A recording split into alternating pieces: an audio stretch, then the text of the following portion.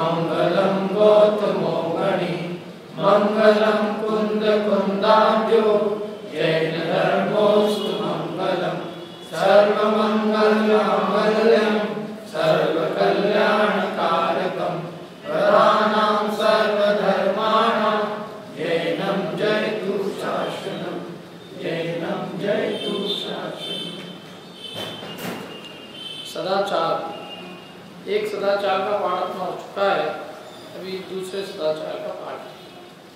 वाले सदाचार में हमने जैनी की पहचान के चिन्ह पढ़े थे कि जैनी की पहचान के चिन्ह क्या क्या है, जिससे कि ये जाना जाता है कि ये जैन है। तीन चिन्ह बताए थे। जैन पुरुषणी की पहचान के तीन चिन्ह है। प्रथम तो रात्रि भोजन न करे, दूसरा अंचना जल न पीवे, तीसरा प्रतिदिन देव दर्शन करना। और या में सो एक में भी कसर होए, कमी होए। तो जेनी नाही, शूद्र सादृश्य। एक में कसर हो तो जेनी नहीं तो दो में और तीनों में कसर हो तो। शूद्र इंटू शूद्र इंटू शूद्र।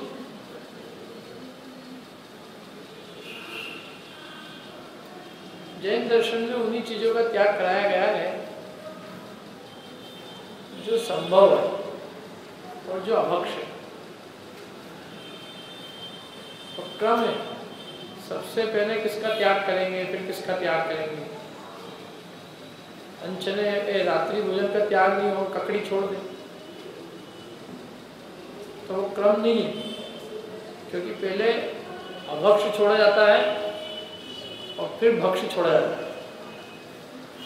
तो अब अपन जाने तो सही अभक्ष क्या है। दिक्कत क्या है लोगों के साथ उन्हें पता नहीं तो ऐसा नहीं कि कोई आदमी क्रम से त्याग नहीं करना चाहता। हो लेकिन परेशानी तो ये है कि उसे क्रम पता ही नहीं कि पहले क्या त्यागा जाता है। इसलिए उस क्रम के ज्ञान कराने के लिए भाई कितने प्रकार के अभक्ष होते हैं जिनका पहले त्याग होता है। भक्ष का मतलब होता है तो इसमें भक्ष माने खाने योग्य। तो जो खाने योग्य उसका बाद में त्याग होगा। और अभक्ष माने जो खाने योग्य नहीं है, उसका त्याग पहले होगा दूसरा, अभक्ष में होता है यम, और भक्ष में होता है नियम। किसे कहते हैं यम और नियम? यम माने, अभी इधर पहले तो बिल्कुल चुपचाप सुना करो आप लोग तो एकदम मोल लेके आया करो, मोल लेके जाना। पक्ष यम का मतलब होता है जीवन पर्यंत के लिए त्याग। वह यम। और सीमित कालावधि के लिए जो त्याग है, उसका नाम क्या है? नियम।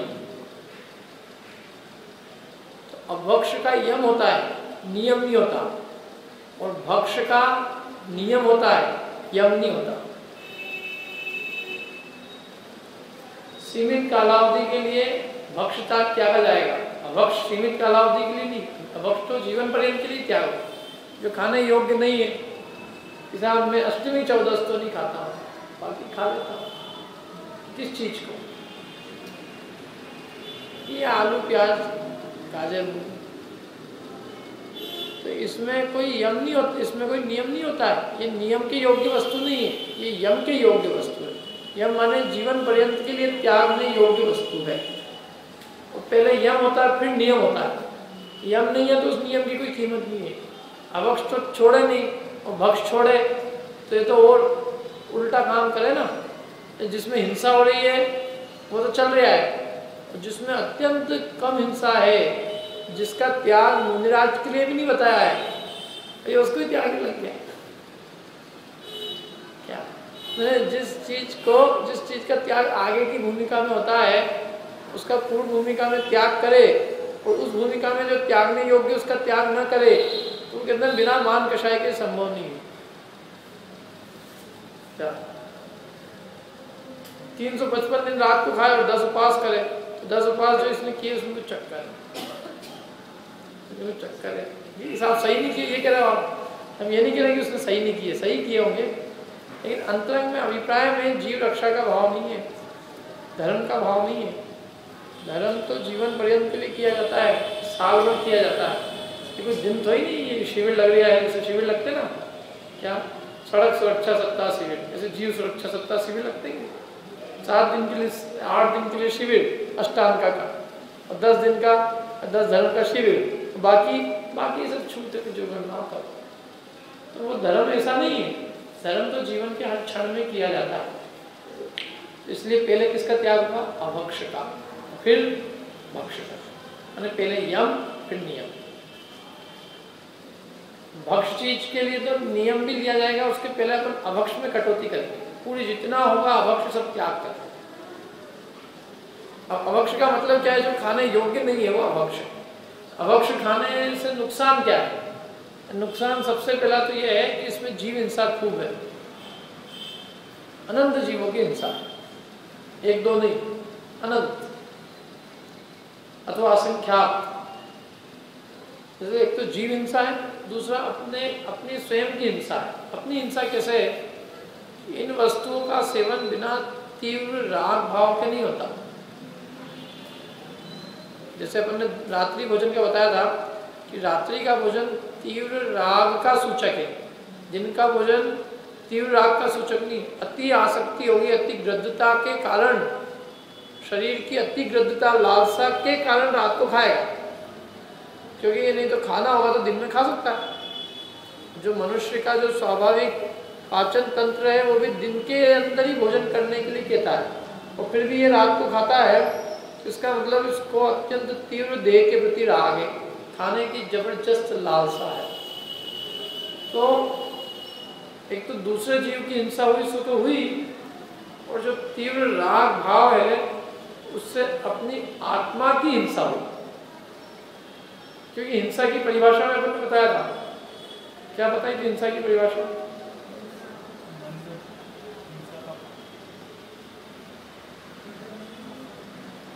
दो प्रकार की हिंसा बताई। द्रव्य हिंसा और भाव हिंसा। भाव हिंसा की परिभाषा होती है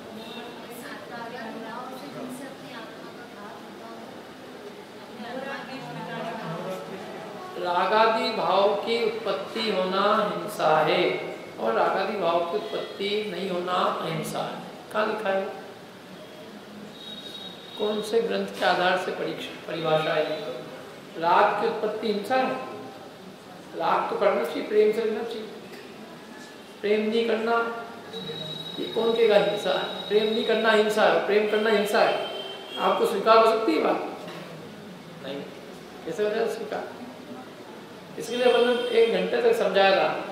कि राग, भाव भी हिंसा कैसे है। क्योंकि जितनी भी हिंसा है, उसमें कारण कौन है? राग। राग आदि भाव की उत्पत्ति हिंसा है। किसकी हिंसा हो रही है उसमें? स्वयं की, दूसरे की नहीं, स्वयं। की कैसे हिंसा होती है उससे कि उससे अपने आत्मा की शांति का घात होता है। अपने भाव प्राणों का घात होता है। शुद्धोपयोग का घात होता है। चैतन्य का घात होता है। आकुलता बढ़ती है, दुख होता है, तीव्र दुख होता है। इसलिए आत्मा की शांति का घात करने से उसको हिंसा कहा रागादि भाव को।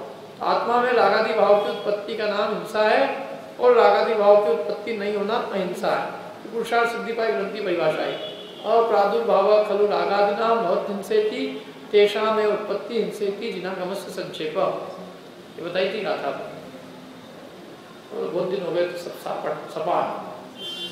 आगे पाठ।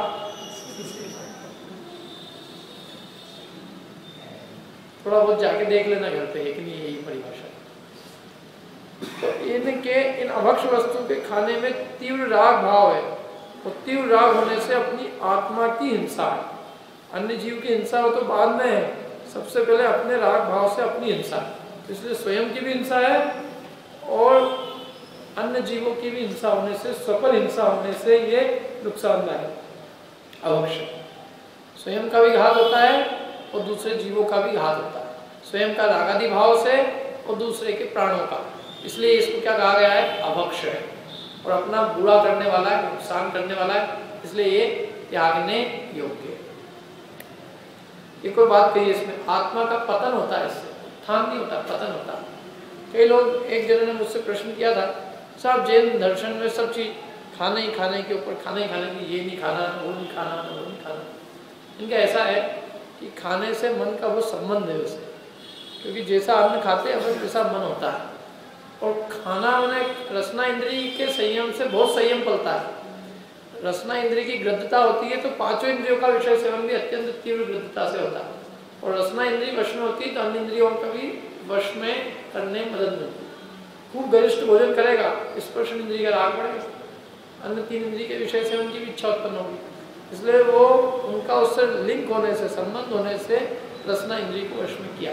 भूखा हुआ उपवास किया हुआ तो मन इंद्रिय सब मर जाएँगे अपने आप। सहज नियम तो इससे क्या होता है, अभक्ष खाने से आत्मा का पतन होता है, आत्मा गड्ढे में जाता है। कितने प्रकार का है अभक्ष? तो वैसे तो बाईस अभक्षों की लिस्ट आती है। लेकिन वो दिगंबर शास्त्रों के हिसाब से नहीं है, वो श्वेतांबर शास्त्र का दुआ है बाईस प्रकार के अभक्ष होते हैं। ओला, घोल, बड़ा भोजन बीजा बेंगन संधान बढ़ती कल्पा कर उमर फल कटुमर जो हो अजान निष्भोजन विषमाटी कंद, मूल, जो विष निष्भोजन विषमाटी और क्या है? मधुमाखन और मदिरा जाम ये जिनमत में बाईस बखान ये जिनमत में बाईस बख्श है ये अपनी नहीं अपनी पर। फिर भी ठीक है क्योंकि इसमें जो चीज़ है, वो कोई गलत नहीं है। मतलब जिनको अवक्ष गिनाया है, उनको अपने अभी अवक्ष बनाया बताया। लेकिन अपन ने बाईस ही नहीं माने। अपन ने अभक्ष को कैटेगराइज किया है कि पाँच प्रकार के अभक्ष है। अभक्ष पाँच या बाईस नहीं है। उन्होंने तो बाईस चीज़ के दी कि बाईस अभक्ष है। नहीं अभक्ष तो रोज नई पैदा हो जाती है। क्या? जैसे रागादि उत्पन्न करने के साधन रोज नए नए हो जाते कभी क्या होता है, कभी क्या होता है। अपन टीवी मना करते तो कंप्यूटर पे दौड़ जाता है। और कंप्यूटर मना करते तो फ़ोन पे चालू हो जाता है। तो क्या करो? अपन उसको एक क्राइटेरिया देख, जिनसे रागादि बढ़े, कषाय बढ़े, उन सबका, वो सब जो है वहाँ अनर्थ करने वाली है। वहाँ वो सब अभक्ष है। खान देखने के लिए अभक्ष है। ये कहेंगे ना क्योंकि वो किस एक चीज़ चीज़ तो ऐसा है, परिवर्तन हो जाती काल के हिसाब से। लेकिन जो सिद्धांत है कि जिनके देखने से अपने परिणाम बिगड़े, परिणामों में तीव्र आगादी उत्पन्न हो, वो सबका त्याग अपने लिए हितकारी वीडियो गेम है, ये वो कषाय पड़े हिंसा पड़े तो ऐसे अवक्ष जो है अभक्ष अनेक हो सकते हैं, एक नहीं, अनंत हो सकते हैं। किस किस की बात करें, रोज लोग नई नई बातें बताते हैं कि जैसा पार्ले जी में ये डल रहा है तो उसमें ये जल रहा है, ये चल रहा है। मैंने कहा, ये इतनी हज़ार बातें बनाने की मतलब इतनी कहाँ कहाँ तक अपन उसको कहेंगे? लाख बात की बात उसको बताओ कि अभक्ष कितने प्रकार के होते हैं? क्या? और सबसे बड़ी बात की बाज़ार का भोजन अभक्ष है। क्योंकि किस किस को रोकेंगे अपन? क्या क्या चीज़ के अंदर जाएँगे? सारी मतलब पूरा विदेशी सभ्यता का पूरा अंधाधुंध प्रचार है और उनकी दृष्टि में तो ये आदमी नहीं खाता है तो वो उसका उसका बुरा कर रहे हैं। मेरे को याद है एक बार कि मेरे साथ में एक मित्र था वहाँ से अमेरिका के अंदर। तो वो इसके पास एक कैफेटेरिया के अंदर गया तो उसने उसको ऑर्डर किया। क्या का ऑर्डर किया? उसने कहा कि पिज़्ज़ा वेज पिज़्ज़ा तो वेज पिज्जा में भी उसको जो है बीफ मतलब गाय के टुकड़े, गाय के मांस के टुकड़े। तो उसको मना, उसने उसको तत्काल कहा कि ये क्या दिया तूने मेरे को? तो उसने दूसरी बार ऑर्डर किया। उसके पैसे नहीं लेते वो दूसरी बार। ठीक। है दूसरी बार आया तो फिर दूसरी बार में फिर उसी बीफ के अंश दिखे उसको ऐसे तीन बार उसने ऑर्डर किया। फिर आखिरी में हम झगड़ने पहुँचा कि ये कैसे लगा दिया तुमने? तो वो आदमी जो बनाने वाला था वो क्या कहता है साहब आपका शरीर कैसे चलेगा? मैंने कहा कि थोड़ा तो इनको चलने दो। जैसे अपने घी परोसते ना बच्चों को बड़े प्रेम से जैसे उसने घी की भाती को दे फिर फिर एक व्यक्ति ने हमको सजेशन दिया उस आदमी के सामने उसको कि तुम एक काम करा करो। तुम ये बोलो कि मेरे को एलर्जी है। तो एलर्जी के नाम से ध्यान रखेंगे। पर वो फिर भी जो भी है तो वो उनकी दृष्टि में तो ये आदमी नहीं खा रहा है तो इसका क्या हो रहा है? तो उसके चित्त में क्या बसा हुआ है? उसके चित्त में यह है कि ये ये चीज़ जो होनी चाहिए। तो मैंने उसको, लड़के को भी यही समझाया, मैंने कहा, तू क्यों इनके चक्कर में फंसा हुआ है? घर में तेरी माँ बनाती है खा अच्छे से, आराम से। और तू ये जो है, बाज़ार का पिज़्ज़ा और ये और ये सब चीज़ें और वो भी इनके यहाँ पे, ये ये ये जिनके नाम सुनने में अपने को वो लगता है। ऐसे देख के ग्लानी हो जाए किसी। तेरे को देख के भी ग्लानी नहीं और तीन तीन बार फिर मौका लिया है। तो बोले, ऐसे क्या खाए अपने को तो रोज़ घूमना है। मैंने कहा, ऐसा नहीं है, अपन अपनी व्यवस्था करके चल सकते हैं। इसलिए ये तो पूरा अभक्ष ही ये और ये तो महाअभक्ष जिस जिस रसोई में वेज और नॉन वेज दोनों ही बने वो तो देखने लायक नहीं है तू खाने की बात कर रहा है उसकी कोई वो चम्मच का ध्यान रखेगा क्या बर्तन का ध्यान रखेगा किस किस का ध्यान रखोगे तुम तो जो पाश्चात्य जो सभ्यता वाले लोग हैं ना उनके चित्त में बात नहीं घुसती उनको तो लगता है गाय का मांस तो बेचारे हिंदुस्तान को खिलाना ही चाहिए थोड़े मोटे ताजे होंगे, शरीर स्वस्थ रहेगा हेल्थ बढ़ेगी, ये होएगा। उनके चित्त में ये नहीं है कि हमारे को इससे कितनी ग्लानी है। इसलिए वो तो जिसने जिसने भी पार्ले जी और इनके जिसके शौक लगे जिनके घरों में तो वो तो महाभ्रष्ट हुए, है ही है क्या?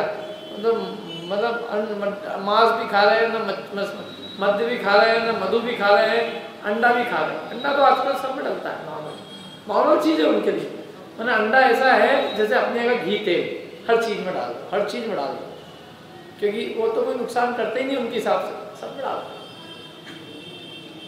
तो इसलिए बात तो यह है कि भाई कितने कितने चीज़ों को हम कहेंगे अभी कोई उस दिन बच्चा बता रहा था कि बर्फ़ का लड्डू है तो बर्फ़ जो है वो मुर्दे जिस पे रखे जाते हैं, वो बर्फ़ आता है। तो मैंने, मैं तब भी यही सोचा, मैंने कहा कि इसका कोई अंत नहीं है। तुम्हें बताओ कितने प्रकार के ये पाँच प्रकार के कितने प्रकार के? पाँच प्रकार देखो क्या क्या नाम है उनके तरस घात बहुघात, अनुपसेव्य नशा कारक और अनिष्ट कारक ये पाँच प्रकार ये पाँच नहीं, ये कोई वस्तु के नाम नहीं है कि ये वस्तु अवक्ष है, ये वस्तु अवक्ष है। तो बाईस में तो नाम थे। ओला घोल बड़ा निशी वियोजन बहुबीजा, बेंगन, अचार बड़ पीपल, पाकल, उमर, कटुमर मध्य मास मधु, वो सब नाम थे। लेकिन ये नाम नहीं है किसी चीज़ के। तरस घाट किसी चीज़ का नाम नहीं है। तरस घाट कैटेगरी का नाम है। बहुघात कैटेगरी का नाम है। ये पाँच कैटेगरी मैंने पाँच भागों में बांटा अवक्ष को। तरस घात बहुघात अनुपसेव नशाकारक और अनिष्टकारक। अब इसमें सबसे पहला। दो शुरू के समझने बहुत सरल है। उसमें सीधे जीव हिंसा से संबंध है। सबसे पहला है त्रस घात जिन पदार्थों के खाने से त्रस जीवों का घात होता है जिनके सेवन में त्रस जीवों का घात होता है, उसे त्रस घात कहते हैं। त्रस किसे कहते हैं? है? नहीं नहीं, त्रस किसे कहते हैं? त्रस त्रस त्रस। त्रस मालूम है किसे कहते हैं? त्रस किसको मालूम है? बच्चों से पूछते पहले बड़ों से मालूम पूछ लेंगे, बड़ों को तो मालूम नहीं होगा त्रस किसे कहते हैं, बेटा, मालूम है? नहीं मालूम। चलो, आगे वाले बताओ, त्रस किसे कहते हैं? दो इंद्रिय से पंचेंद्रीय जीवों को त्रस कहा जाता है। और एक इंद्रिय को स्थावर। जिन पदार्थों के सेवन से त्रस जीवों का होता है मैंने दो इंद्री तीन इंद्री चार इंद्री पंचेंद्रीय जीवों का कहा। अब ये चारों को क्यों लिया अपन ने? दो इंद्री से लगे पंचेंद्री तक के सब जीवों इसका कारण ये कि इन चारों की एक संज्ञा है शास्त्र, मास। चाहे लटका शरीर हो, चाहे चीटी का हो, चाहे मच्छर का हो, चाहे गाय का हो सबके शरीर का नाम मांस। और एकेंद्री के शरीर का नाम मांस नहीं है। अग्नि का शरीर मांस नहीं है, जल का शरीर मांस नहीं है, वायु का एक का शरीर मांस नहीं है, वनस्पति का एक के शरीर मांस नहीं है, पृथ्वी का एक का शरीर मांस नहीं है। इसलिए ये पाँच अलग अलग तरह के शरीर है। काय कहीं ना, पाँच अलग अलग काय पृथ्वी का है जल का है अग्नि का है वायु का है रस का है और दो इंद्रिय से पंचेंद्रिय तक के सब जीवों को एक काय का त्रस का है? कोई बैक्टीरिया जो दिखते क्या? दिखे तो मांस है और क्या? दिखते हैं मतलब दिखने से ही मतलब नहीं है। जो जो भी बेसिकली त्रस जीव है ना, दो इंद्रिय जिनके त्रस है वो क्या है आपके वो, जो भी आप जानो क्या क्या क्या क्या है? वो एक इंद्रिय है कि दो इंद्रिय मतलब प्रत्यक्ष जो स्थूल त्रस जीव उनकी बात कर रहे हैं बैक्टीरिया खाते वही, बैक्टीरिया तो आते हैं। जो खाते हैं वो तो तरस, जिस, जिन पदार्थों में स्थूल तरस जो दिखाई देते हैं, उनकी बात चल रही है यहाँ। वो बैक्टीरिया तो कहीं से प्रवेश कर जाए उसकी बात तो ही तो स्थूल तरस मैंने दो इंद्रिय से पंचेंद्रीय जीव, इनके शरीर की क्या संज्ञा है? मांस। और ऐसा नहीं कि ये इनका एक ही शरीर मतलब एक ही जीव की हिंसा हो रही है, जैसे चीटी। एक चीटी, वो खुद तो मरी है। उस चीटी के शरीर में अनेक जीवन होते हैं। उसके आश्रय से रहने वाले। तो मरती है तो उसके शरीर में प्रति समय असंख्या जीव पैदा होते हैं। और अनंत निगोदिया जीव होते हैं। जहाँ मांस होता है, मांस के आश्रय से अनंत निगोदिया होते हैं। पृथ्वी काय के शरीर में निगोदिया नहीं होते, जल काय के शरीर में नहीं होते, अग्नि काय के शरीर में नहीं होते, वायु काय के शरीर में नहीं होते। इन चारों के आधार से न त्रस होते हैं। उन्हें निगोदिया होते हैं। और त्रस जीवों के शरीर में निरोधिया भी होते हैं और इस त्रस जीव भी अन्य अनेक होते हैं। जैसे अपना शरीर ना जैसे ही मर जाता है, मरने के अंतर्मुहूर्त बाद, इसमें हर समय अनंतानंत जीव पैदा होते हैं और असंख्यात त्रस जीव पैदा होते हैं। डेड बॉडी थोड़ी देर रखो तो दिखने भी लग जाते हैं, कीड़े बड़े बड़े सड़ता है ना जब कीड़े पैदा हो जाते हैं दो तीन दिन तक जब लाश चढ़ती है। तो वो भयंकर मतलब जीवोत्पत्ति का कारण है वो, मृत शरीर। तो जिस मृत शरीर में अनंत असंख्यात जीव पैदा हो त्रस और अनंत निगोदिया जीव पैदा हो, वो खाया कैसे जा सकता जब हम जिंदे ही खा जाएँगे उसको, तब तो नहीं होंगे ना उसमें। अरे तो जिंदे को खा लोगे तो और वहाँ जीते जी जीव को कैसे खाया जा सकता है? ये मतलब त्रस को खाने वाला जीव महा, उसके परिणाम महाक्रूर होते हैं। उसके चित्त में दया उत्पन्न नहीं हो सकती। धर्म कहाँ से उत्पन्न होगा? जिसके चित्त में दया हो, वहाँ धर्म प्रवेश करता है। जब दया ही नहीं है, वहाँ धर्म कैसे होगा? इसका चित्त इतनी कोमल नहीं है तो धर्म की बात बहुत दूर की कबाब खाने वाले कभी धर्म नहीं हो सकता।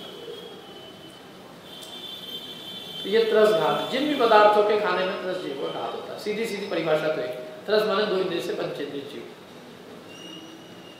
अब आप लगा लो, वैसे तो इसमें नाम दिए मांस। मांस तो स्थूल ही त्रस जीव के घास से बनता है। बिना त्रस जीव के घास, घात के मांस बनते ही मांस माने त्रस जीव का किसी न किसी का उसमें घात हुआ मरा है। वो ज़िंदा था, ज़िंदा तो खा ही नहीं सकता। मरा है तो मरने के बाद में भी उसमें उसके शरीर के आश्रय से अन्य अनेक जीव और उत्पन्न हो गए। अनेक त्रस और अनेक निगोदिया इसलिए वो खाने योग्य नहीं खाने तो दूर की बात है मांस तो हाथ लगाने योग्य भी नहीं है। अपन यदि किसी मुर्दे को जलाने जाते हैं तो जला के आप उसका क्या करते हैं? नहाते हैं? अच्छे। से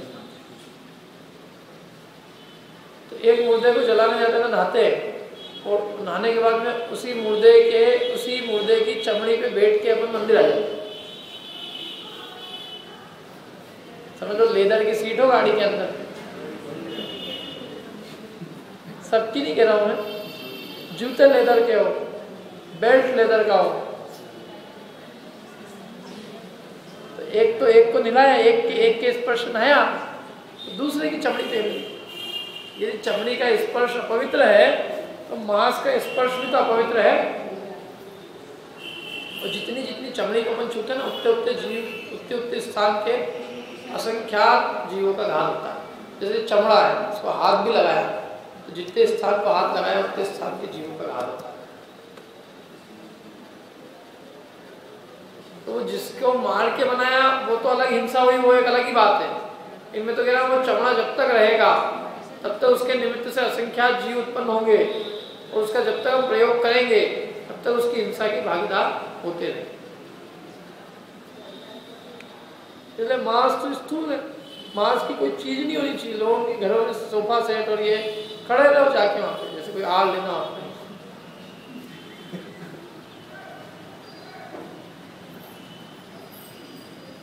ये चीज़ मतलब महान क्रूर अभक्ष ना। तो मांस तो समझ में आता है मधु। मधु भी अभक्ष है।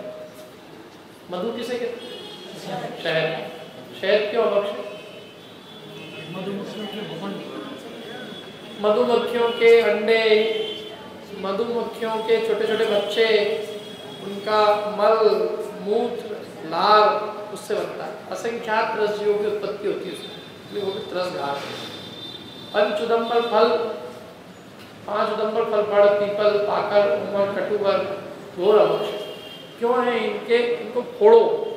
बड़ पीपल का फल फोड़ो ना तो फोड़ने पर उसमें चलते, फिरते, दौड़ते जीव आँखों से दिखाई देते आँखों से। बड़ का फल। अपन लोग तो खैर किसी ने खाए नहीं होंगे। कुछ लोग कहते हैं, अंजीर अंजीर भी इसमें आता है। अंजीर में मैंने देखे नहीं वैसे। लोग कहते हैं कि अंजीर भी है। अभक्ष अंजीर। बाकी वो पंच उदम्बर में आता है कि नहीं आता है अलग बात। बड़ पीपल, पाकर, उमर कटुमर चलो छोड़ो ये तो। एक और है, मध्य। मध्य मध्य तो अपन इसमें आएगी नशा कारक में। बाकी यहाँ दो चीज़ें बताइए। मांस और मधु। ये दोनों त्रस घात है। ऐसे तो देखा जाए तो जिन पदार्थों में अपने को तरस जीव दिख जाए, अपने विवेक से अपने को उन चीज़ों का त्याग कर देना चाहिए। बहुत दिनों का मैदा है, बहुत दिनों का रवा है, बहुत दिनों का अचार है ये तो स्थूल है क्योंकि इनमें चलते फिरते जो जीव दिखाई देते अनेक दीवों का, अनेक दिनों का मैदा पड़ा हो, दवा पड़ा हो, और उसमें आप देखो छोटी छोटी अनेक लटे आँखों से दिखाई देगी, चलती फिरती और घर में तो अपने को दिख भी जाती है, लेकिन जो बाज़ार की चीज़ें होती है, जितनी भी मेदे रवे की बनी हुई, उसमें तो उन सब लट्टों की हिंसा हुई हुई है। कौन सी उसमें देखी है? सबसे सस्ता चना बिकता सबसे सस्ता बेसन कौन सा बिकता बाज़ार में मालूम? जो डंकी चने का बनता और वो चना कौन खरीदते हैं? सारे सेव बनाने वाले खरीदते हैं। क्योंकि सेव वालों को तो मुनाफा चाहिए। तो वो वही चना खरीदते हैं कौन सा वाला? वो डंकी चना, क्योंकि डंकी चना बाज़ार में सबसे सस्ता बिकता है। आप लोग नहीं खरीदोगे उसे। अपने को डंकी दिखेगा। डंकी मैंने समझे? छेद वाला, कीड़े वाला। तो कीड़े वाला कोई भी नहीं खरीदता, जैनी नहीं, हिंदू भी नहीं खरीदता। हिंदू को भी डंकी चना दिख जाएगा तो वो नहीं खरीदेगा। तो ये क्या होता है, डंकी चना बहुत सस्ते भाव बिकता है। तो ये सस्ते भाव बिकता है तो वो सारे सेव वाले ले जाते हैं। पीसते हैं उसका, बेसन बनाते हैं और जैन सेव भंडार के नाम से बेचते हैं। और खाते हैं लोग चटकारे बना क्या? तो अपने घर में बनाओ ना बेसन यदि सेव खाना है तो अपने घर में बना लो। और नहीं हो तो अपनी महिलाओं को ट्रेनिंग दिलवा दो एक आध कोई दिक्कत नहीं होती लेकिन बाज़ार की सेव में बहुत हिंसा है। सेव में, कचौरी में, इन सब चीज़ों में मतलब ये बहुत, अब तो वर्तमान में तो सचमुच ये देख लो यदि आप उस चीज़ को तो आपके भाव उत्पन्न नहीं हो सकते। तो हम आँख नीच लेते हैं सब चीज़ों से। क्या बन रहा है अंदर? अपने को क्या करना अपन यहाँ थाली में आई खाओ। लेकिन वो पूरा मैदा, रवा महा लटों के ढेर के ढेर दिखते। मेरे को एक बार बताया था किसी ने कि वो ये जो बफेट वगैरह बनाते थे सेल पार्टी करते थे सेल पार्टी में जो मैदा, रेवा खरीद के लाए वो जो उसमें लटे देखी तो उस दिन से उस आदमी ने बाज़ार के फेदे लगे का त्याग कर तो होती है ना। स्पष्ट दिखती है। जितनी महिलाएँ उन सबको ख्याल में होगा। कि मेरे रवे में कितनी जल्दी लटे पड़ती है। अचार है। अचार देख लो आप। कई लोग जितने दिनों का अचार होता है, उतना उनको अच्छा लगता है। मैंने कहा, इनको उतने नीचे नरक में जाना जितना जितना अच्छा लगता है। अचार की मर्यादा है तीन, पाँच, सात दिन की। उसके बाद का जो अचार है, वो अभक्ष है, खाने लायक नहीं है।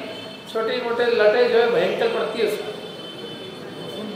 फफूंद तो पड़ती है, जीव उत्पत्ति बहुत होती है।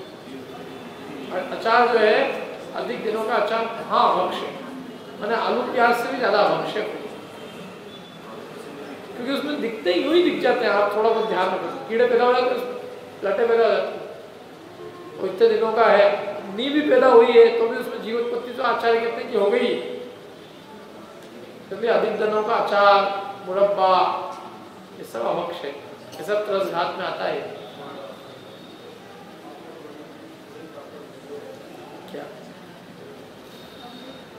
भैया, जितने हैं, उतने ही लो पहले की बात बात करें।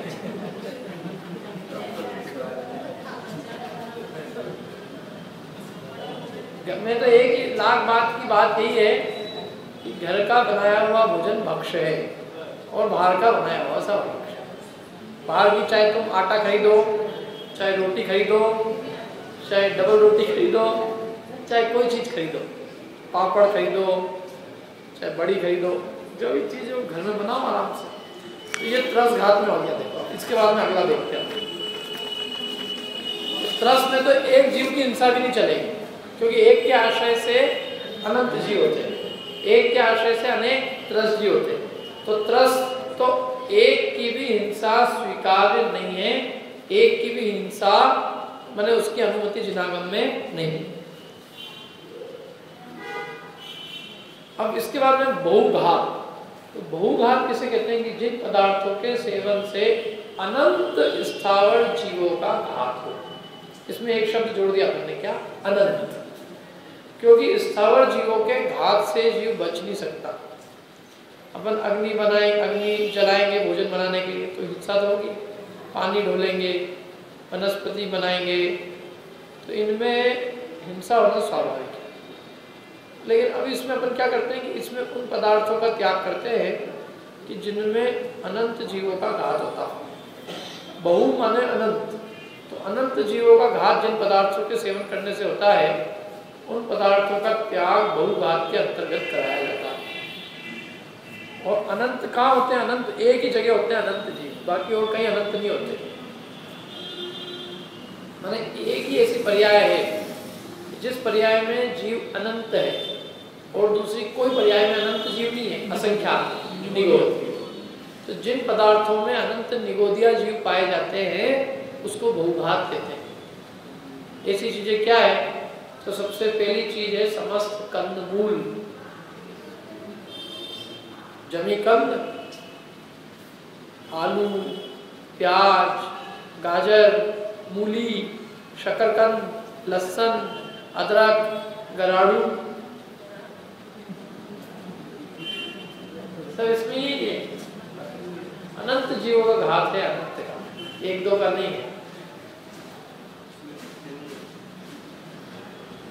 मेरे को किसने बताया था? आलू के लिए तो एक छोटे बच्चे ने पाठशाला के यदि आलू को आधा काटो, उस पर थोड़ा ही नमक लगा दो। उसने बताया, अभी मैंने देखा नहीं करके। तो उसमें से बोले चलते फिरते निकलते हुए जीव दिखाई देते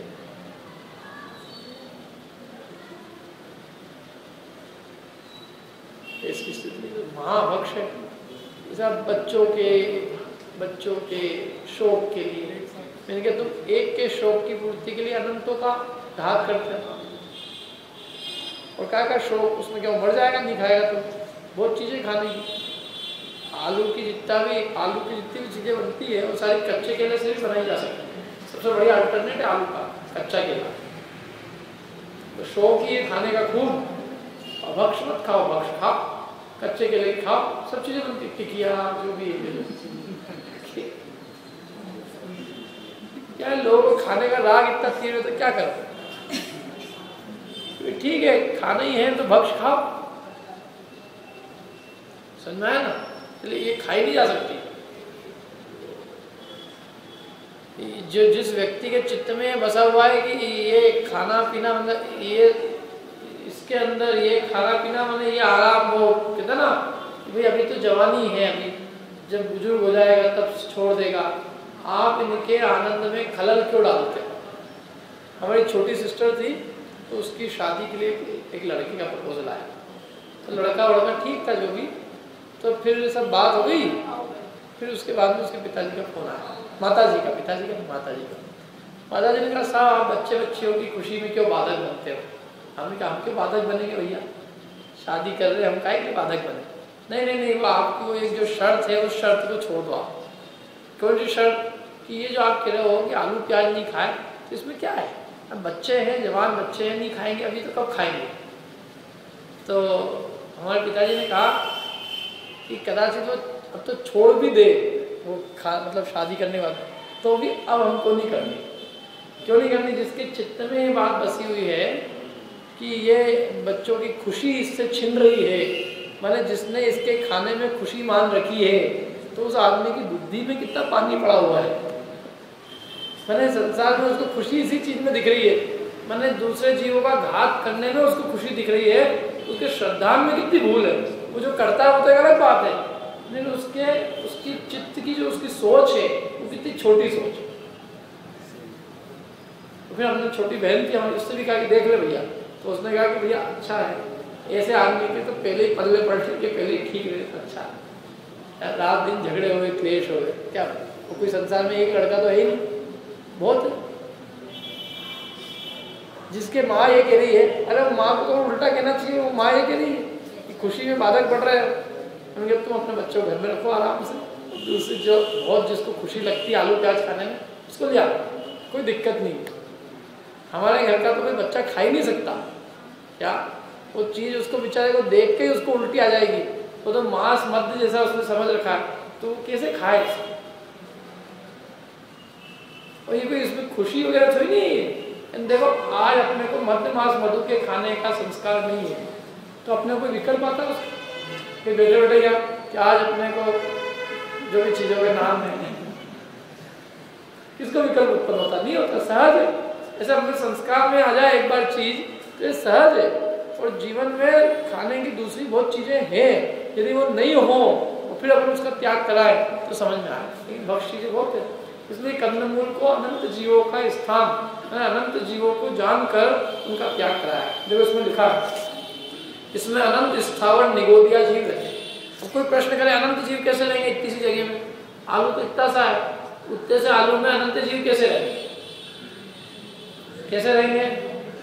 एक शरीर में अनंत है। भले ही शरीर गिनती के उसमें, शरीर अनंत नहीं है, लेकिन एक एक शरीर में जीव अनंत है। इसलिए तो उसको निगोद कहते हैं। एक शरीर अनंत, जीव, उसका नाम निगोद है। इन सब चीज़ों में निगोदिया जीव है, अनंत जीव है। इसलिए इनका सेवन महावंश है। तीसरा है अनुपसेव। अभी अनुपसेव क्या चीज़ है? जिसका सेवन उत्तम पुरुष बुरा समझे। उत्तम पुरुष का भला नहीं समझे। क्या? किसी से बोलो तो बोलने में शर्म आए। क्या? मैंने जो अत्यंत निंदनीय है, ऐसे पदार्थों का सेवन। अपने स्वयं के मूत्र का, गाय के मूत्र का, उनके मल का, ये महा अपवित्र वस्तु है। हाथी दांत का, इनका सेवन बिना तीव्र राग भाव के नहीं होता। मुझे अपनी दादी जी का किस्सा याद है। हमारी दादी जी को पहले उनका कोई बच्चा नहीं था। तो उनको एक जन ने सजेस्ट किया, क्या? कि तुम ना गोबर खाओ, गाय का। तो तुम्हारे बच्चा हो जाएगा। हमारी दादी जी कहते कि गाय के गोबर से बच्चे का क्या समझ बोला, आपसे कहा ना क्वेश्चन तो उन्होंने कहा, तेरा गोबर गया चूल्हे में, मेरे को तो कोई गोबर वोबर नहीं खा तो बोले, साहब, मैं आपको कई लोगों के नाम बता सकता हूँ, जिन्होंने खाए हैं, उनको हुआ है। जिनने खाया है उनको दिया हो लोग हैं ऐसे। अरे, मैं बताऊँ, एक जेनी की थेरेपी चलती है यहाँ urine therapy cow urine therapy jenny की है वो? क्या? अब अपन कह रहे हैं अभक्ष है। क्योंकि इसका सेवन कोई अच्छी चीज़ तो ही। नहीं अभी कोई मेरे से पूछे, पंडित जी, क्या पी के आए नीचे पानी आने पी के आए नहीं नहीं।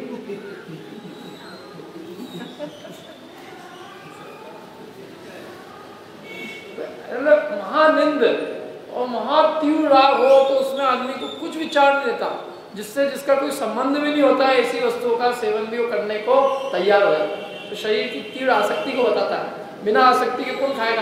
पुत्र की आसक्ति के बिना गोबर कौन खाएगा? तो वो सवाल वो चीज़ के खाने का नहीं, सवाल राग का है कि तुम्हारे अंदर में राग कितना तीव्र था कि जिसके कारण तुम योग्य, अयोग्य वस्तु का भी सेवन करने के लिए तैयार हो इसलिए उसको अवक्ष कहा है। उसमें जीव हिंसा की बात नहीं है। उसमें तीव्र राग का और आसक्ति का दोष है। इसलिए वो अभक्ष ये सारी चीज़ें, लाल मूत्र आदि। और इनका सेवन लोक निंद इसमें दिया ना, इनका सेवन लोक निंद होने से तीव्र राग के बिना नहीं हो सकता। कर ही नहीं सकता।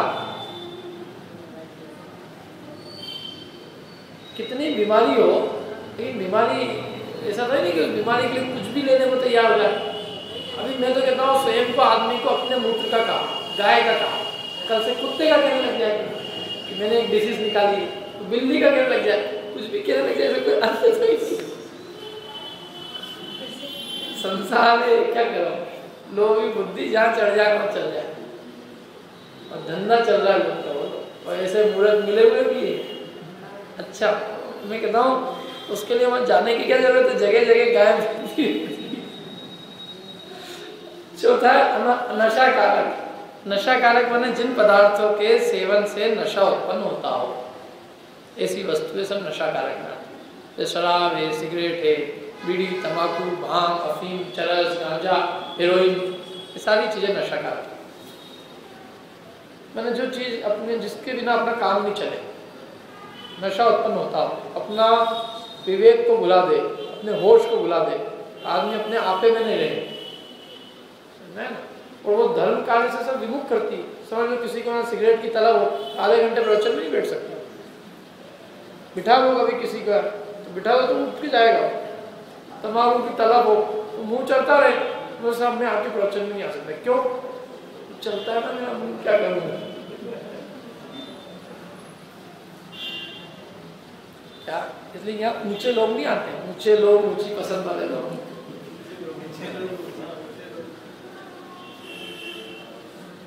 ये सब अभक्ष है, ये सब घोर अभक्ष लोक में भी निंद माना जाता है। परिवार वाले भी उससे महान घृणा करते हैं इसका मुँह नहीं है, जैसे कोई इसका मुँह जो है वो कचरे का डिब्बा हो, जैसे सारा कचरा का नशा उत्पन्न करता होता है बीड़ी, सिगरेट सब है। अभक्ष है अच्छा दूसरा इनके बनने में असंख्यात जीवों की हिंसा होती है। बीड़ी जो बनती है ना तो बीड़ी के अंदर गिलास वगैरह होती है, गीला होता है गीला, गीली चीज़, उसके निमित्त से असंख्यात जीवों की हिंसा होती और शरीर का घात करती है अलग आदमी को नशे में ले जाती है, उससे मिलता क्या बीड़ी, सिगरेट, इनसे कुछ कुछ भी लाभ नहीं है। ये आदतें हैं आदमी की बस लग लग गई, जो लग गई जिसको उसका गुलाम हो गया। भाव बिगड़ जाता है, उससे। सारे धर्म कर्म से सब दूर हो जाता। है ये तो जितने लोग यहाँ बैठे हैं किसी को लत नहीं थी वो बैठे हैं या लत होगी तो छूट गई होगी तो बैठे। लेकिन लत वाला आदमी नहीं बैठ सकता है। विवेक खो बैठता आदमी अपना इसके अंदर? चाय में ऐसा नशा उत्पन्न नहीं होता। यदि नशा होता हो तो चाय भी ऐसी नहीं। जिसके बिना चले नहीं। साहब इसको अभी किसी शूद्र ने पी इसी गिलास में कोई भी गिलास हो अपने को चाहिए। मैंने जिसके बिना अपना चले नहीं, और अपन किसी भी कीमत पे उसको पीने के लिए तैयार हो, अपना सिर दुखने लग जाए, बेचैनी हो जाए, क्या? कैसी गंदी हो, संदी हो, किसकी बनाई हुई हो तो वो लती है एक तरह से। लेकिन फिर भी उसमें इतनी जीव हिंसा नहीं चाय में जीव हिंसा नहीं इतनी, लेकिन ये जो चीज़ें ना, बीड़ी सिगरेट, इसमें जीव हिंसा बहुत है, बिना जीव हिंसा की बनती है। लास्ट अपनी अनिष्ट कारक क्या है अनिष्ट कारक अनिष्ट कारक जो वस्तु अपने स्वास्थ्य के लिए हानिकारक। अब ये कोई इसमें किसी चीज़ का नाम नहीं है कि ये चीज़ अनिष्ट कारक है। ये सबकी अपनी अपनी प्रकृति के हिसाब से। जैसे समझ लो किसी को बुखार आ रहा है तो उसको डॉक्टर ने गरिष्ठ खाने के लिए मना किया है तो उसके लिए हलवा है, बादाम का हलवा। वो उसके लिए अनिष्ट कारक है। शरीर का भी अनिष्ट करेगा और अपने चैतन्य के परिणामों को भी बिगाड़ेगा। जीव बेसुध हो जाएगा, बिस्तर में पड़ा रहेगा पाँच छः दिनों तक। तो जिसके लिए जो नुकसानदायक है वो उसके लिए अभक्ष है और ये भी, इसका भी जो सेवन होता है, वो तीव्र राग भाव के बिना नहीं होता, इसलिए इसको अभक्ष कहा। वस्तुतः हलवे में कोई अभक्ष नहीं है, हलवा तो भक्ष है, लेकिन बीमार आदमी जिसको मना किया हुआ है हलवा, उसके लिए वो अभक्ष है। क्यों अभक्ष है? क्योंकि वो आसक्ति के वश होकर खाता है। जब मना किया है, तेरे शरीर के लिए नुकसान करता है सारी बातें तेरे को पता है वो फिर भी तू खाना चाहता है, इसका मतलब तेरे को उसके खाने का राग तीव्र है। शक्कर मना कर दी अपने, फिर भी हम तो शक्कर खाएँगे। मैं तो इसके बिना नहीं चल सकता। तो वो तीव्र राग है ना अपना उसके प्रति। नहीं तो कंट्रोल में आ जाती लोगों के। जिन लोगों का राग नहीं होता ना तीव्र, हो भी जाए। वश में रखता इंद्री वश में रखता कंट्रोल हो जाती अपना। सही हो जाती है। तो ये कोई भी चीज़ है, दो चार उदाहरण दिया अपने तो बुखार में हलवा बीपी वगैरह बढ़ जाए तो उसमें शायद नमक डायबिटीज़ के अंदर शुगर गला खराब हो, सर्दी जुकाम हो रहा हो, खूब कुल्फी खाने को चाहिए, बर्फ़ खाने को चाहिए, दाग खराब हो रहे हो, मीठा खाने को चाहिए, ये सब अभाव क्या इनका भाव इनको खाना मैंने तीव्र राग भाव हुए बिना नहीं होता, इसलिए इसके बाद में बाईस अभक्ष के नाम दिए हैं, देख लेते हैं फटाफट। इतना समय हो गया? क्या क्या ओला। ओला होता है ना जो बरसात का ओला ऊपर से गिरता है। वो भी अभक्ष माना गया। अनछने पानी का दोष सही से इसमें अंतर के बाद में वो पानी अभक्ष है घोड़ बड़ा, द्विदल। ये द्विदल एक और चीज़ द्विदल माने क्या है? द्विदल किसे कहते हैं मालूम? जिसकी दो दालें होती है। दो फाड़ होती है, उसको कहते हैं द्विदल। जिसके दो दल हो जाते जैसे चना है, चने की दो दाल हो जाती है ना? जितनी भी दालें हैं, जिनकी दो दाल होती है, द्विदल। और द्विदल को दही के साथ मिला के खाने पर अपने जीवन पे जैसी बात है। तो दही, दालें और लावा, शरीर की एक जीवान की लाभ और सूर्य सूर्य भी है उसमें। इन चार चीज़ों का संयोग होने पर त्रस जीवों की उत्पत्ति होती है। इन चार चीज़ों को कहा। दही, बेसन बेसन मतलब बेसन ही नहीं, सारी दालें।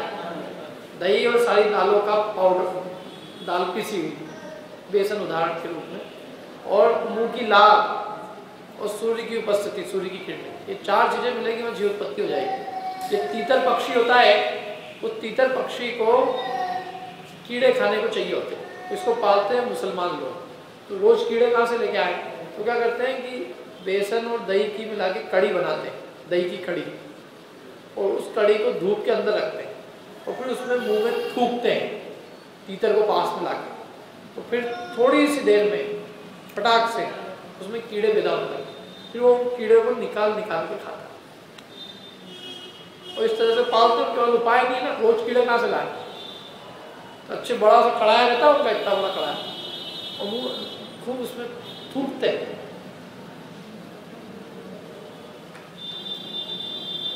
संयोग प्रकार ग्रंथ में है इसका वर्णन पूर्ण जीवोत्पत्ति होती है इसमें भयंकर। पूरा कड़ी पूरी बन गई अच्छे से। पूरा दही उबाल लिया मतलब दही को अपन ने उबाल के गर्म कर लिया छाछ उबाल ली पूरा कर लिया काम फिर भी। मैंने उबले हुए दही के अंदर भी दोष माना गया।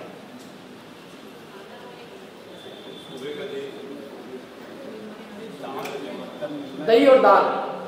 दही, दाल, दूध और लावा, मुँह की लाभ ये चारों का संयोग होना चाहिए। एक की भी कमी होगी तो नहीं होगा जी चारों चीज़ें चाहिए। तो कोई कहेगी, मैं रात को खा लूँगा तो रात को यूँ या भक्ष बेसन खाएगा रात को।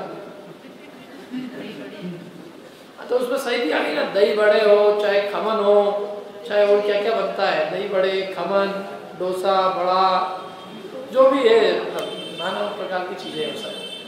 जिनमें दही और बेसन मिला हुआ हो, उसको खाना आवश्यक सीधी सी बात, द्विदल, रात्रि भोजन, बहु बीजा, बैंगन ये बैंगन भी है। बैंगन में मछली के आकार के त्रस भी पैदा होते हैं अंदर। ऐसा शास्त्र में आया। अचार, मुरब्बा, पाँचों दम्बर फल, अजान फल। अजान फल मैंने जिसको अपन नहीं जानते उसमें त्रस जी हो सकते हैं, इसलिए उसका भी अभक्ष का। कंदमूल मैंने जमी कंद माटी, मिट्टी। मिट्टी के मिट्टी खाना ही होगी क्या क्योंकि पेट में लीवर होता है उससे मिट्टी से। और तो त्रस भी होता है मिट्टी के अंदर। विष, जहर खेल तो कोई नहीं खाएगा। मध्य मास मधु। ठीक और अगला है माखन। ये माखन भी अभक्ष है। मक्खन अंतर मुहूर्त तक भक्ष है। और अंतर मुहूर्त बाद मक्खन अभक्ष है। अड़तालीस मिनट के अंदर अंदर मक्खन खा लिया। कोई दोष नहीं। बनने के अड़तालीस मिनट बाद अड़ताल बनने के अड़तालीस मिनट के अंदर अंदर। बनने के अड़तालीस मिनट बाद उस मक्खन की मिठा, मिठास से उसमें असंख्यात त्रस जीव पैदा होते हैं। पुरुषार्थ सिद्धि पाए में तो मक्खन को मध्य मास मधु की श्रेणी में रखा है। उसी एक नवनीत मध्य मास और मधु चार एक साथ रखे। नवनीत माने मक्खन। तो चार, पाँच माह पाँच माह खतरनाक बताए मध्य, मास, मधु, माखन और मिथ्यात्व।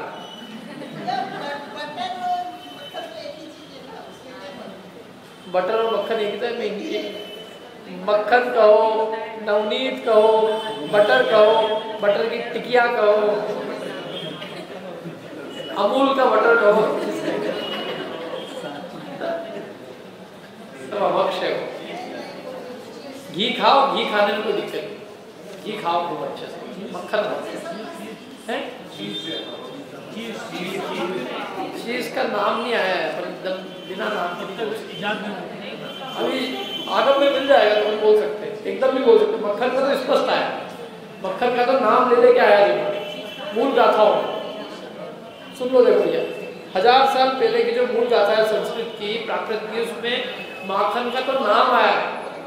मक्खन, नवनीत, ये नाम है। इसलिए वो तो अभक्ष है। एकदम बाकी ये चीज़ वीज का तो पता नहीं मेरे को क्या है। अति सूक्ष्म फल। अति सूक्ष्म फल मैंने बहुत छोटा। बहुत छोटे छोटे इतने इतने से टमाटर, इतनी इतनी सी ककड़ी। बहुत अति सूक्ष्म। वो भी अभक्ष है। बर्फ़ और चलित रस।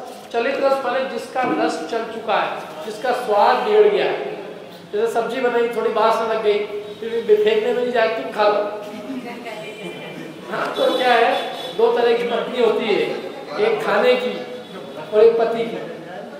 तो खाने की पत्नी तो मतलब कोई चीज़ बिगड़े चाहे जैसी हो फेंकने में नहीं जाती। छेना वो क्या? हिंदी में तो वो चलित रस की गिरा था। क्या चीज़ दूध को फाड़ते हैं छेना छेना अभक्ष है। पनीर पनीर पनीर ना? पनीर अभक्ष खा सकते बिल्कुल खा सकते हैं। अपन घर का बर्फ़ चने पानी का जमा ठीक है। और बड़ा फल बड़ा फल। तो ये तो हो गया ना बड़ा सूक्ष्म फल छोटा।